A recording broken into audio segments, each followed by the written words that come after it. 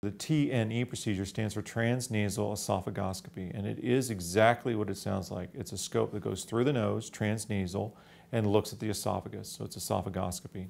The real advantage to the TNE is the fact that it can be done in the office. So that way it's a clinic visit. The patient doesn't have to worry about scheduling a lot of time off work, doesn't have to worry about having a driver come with them because they're going to be uh, you know, feeling a little bit groggy from a general anesthetic. They can drive themselves in, drive themselves out. You know, they, they can go out to dinner that night if they want to. Most of the time when we're considering a TNE is when the patient has some kind of throat symptomatology or esophageal symptomatology that suggests there may be either reflux or some other problem with the swallowing system. So we'll see a patient in clinic, they'll come in with their initial complaint and tell us what's bothering them, and then we'll do our usual head and neck exam at that point in time. Look in the mouth, look in the nose, look in the ears. Generally in my clinic, when we look in the uh, patient's throat for the first time, we use a very short uh, scope that goes through the nose. It only looks as far as the, the mid portion of the throat, but it gives us an idea of the voice box, and what it's doing. But it'll give us an idea of how well a patient will tolerate the TNE. So if the patient tolerates, which most patients, even down to age four, tolerate the flexible scope through the nose relatively well, then they'll tolerate the TNE fairly well. When we tell the patient ahead of time not to eat anything uh, at least four hours before the procedure, it's not that they're going to get sick, but the food in there will cover up the skin lining and we won't be able to see. So if there's food there, there's no sense in doing the procedure. Most of the complaints we get from patients about the procedure have to do with the numbing. And it's not that the numbing hurts, it's that the numbing makes you feel really weird in the throat. And we warn patients about that. It makes your throat feel very thick and makes you feel like you're not swallowing even though you are, and that's somewhat bothersome. And so we spray the nose, have a little lozenge the patient sucks on, and then there's a liquid they drink. That's it. That's all for the numbing. And now numb things very, very well. The patients sometimes are numbed in a separate exam room. They'll get the numbing, and it's numbing they've had before.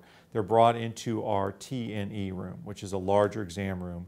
It has a chair, and it has right next to it a computer tower where there's a computer monitor on the front. And there's a whole bunch of boxes that have um, lights on it and computer equipment and all sorts of things like that.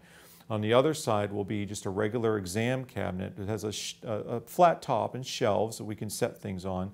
Like if we need to take a biopsy, we'll have the little biopsy containers or the little biopsy wire that we use. And then right above that is a separate monitor that shows exactly what the exam's doing. So we can see a monitor, the exam monitors both on the left and the right of the patient. They'll be showing the same thing. Then we'll bring the scope in um, the scope has a large base to it that's plugged into the computer. And then uh, there's a cable that plugs into the side of that base that carries water for irrigation. And there's a little hose that plugs in the side of that base that carries the suction that we need. No, the hose that carries the water for irrigation is also one that pumps in a little bit of air.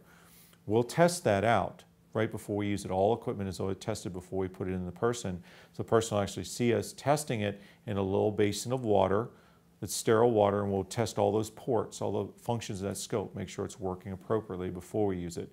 The worst thing you imagine happening is if you, someone puts a scope in and finds out, finds out it doesn't work. We test it before it ever goes in the body. So we know it's working before you do it.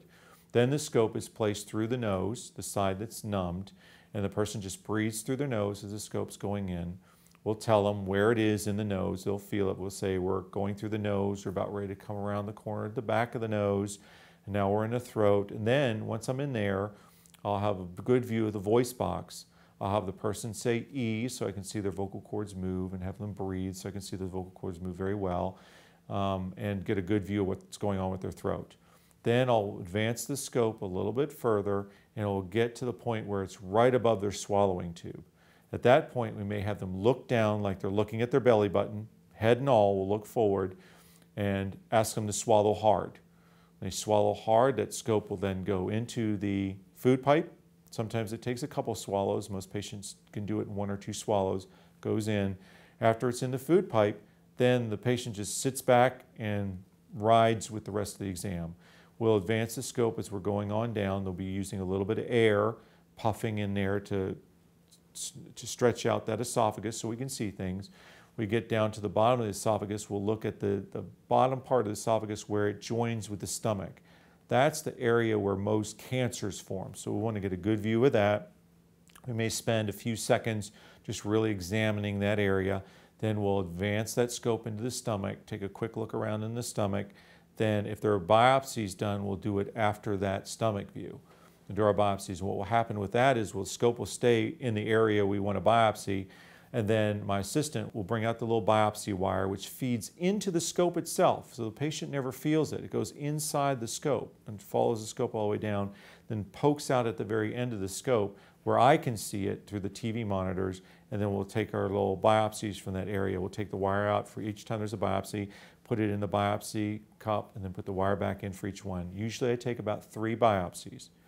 Once that's complete, we'll slowly bring the scope out, look at everything again, make sure there wasn't anything that was missed when we were going on in.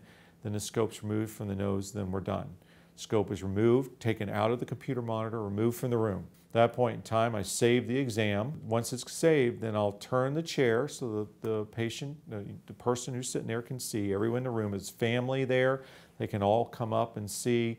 And we'll go over the exam together. I'll play it back. And we'll, I can point out the different points that we saw, what's good, what's not good, you know, what we saw, what we were looking for, what we actually experienced, and then answer any questions at that point, and then you're done.